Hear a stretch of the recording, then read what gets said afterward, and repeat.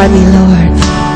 What have I ever done to deserve even one of the pleasures I've known?